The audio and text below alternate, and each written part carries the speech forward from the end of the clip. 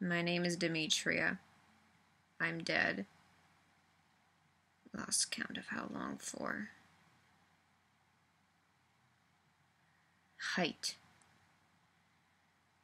seven feet five inches. Wasn't that tall in human life, but I assume everyone that turns into a wraith grows to be abnormally tall.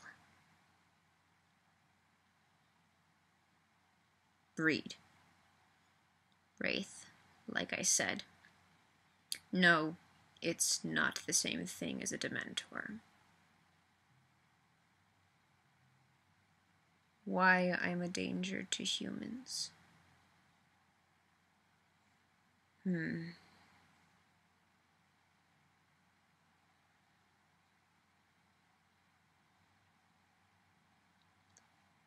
I steal human lives.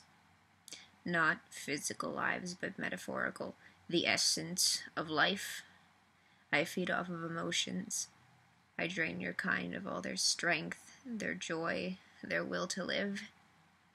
But I don't steal your lives directly.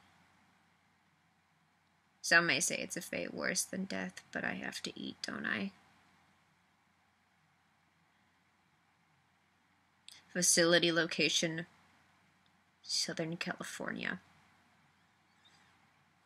Pod number 17.